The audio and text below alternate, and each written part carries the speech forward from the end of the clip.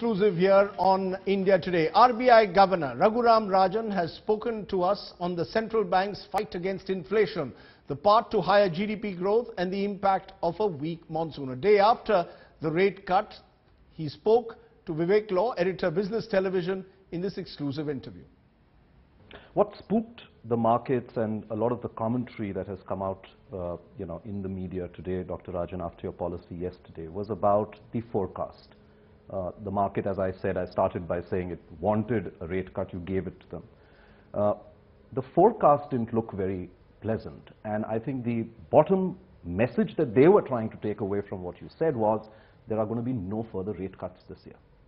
Is that a correct way of reading what you said? No, I, I think that's incorrect, and and and and I think uh, what we said precisely was given what we believe is our best estimate of the future, we are just going to be able to meet our inflation goals by the end of the year.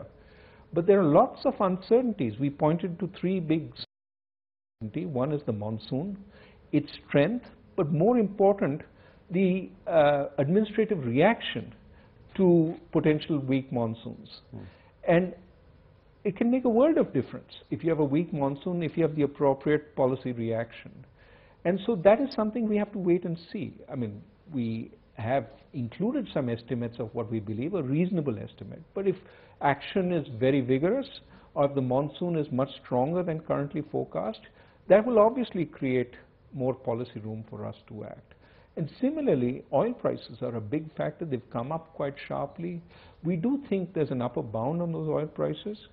If they go back down because there is a sense that there is excess supply in the market, which was the first reason it went down, it would potentially give us more policy room. And similarly with the external environment. So what we said was, given our best estimate, there are these risks. We've moved a little, you know, uh, forward by saying that we're going to cut rates despite these risks. Hmm. But let me outline these risks to you and say based on how these risks evolve, we will, uh, you know, we will take a view. So it wasn't so shutting say the that door. it's a shut door is not correct. It's not not a shut door. It's a contingent statement.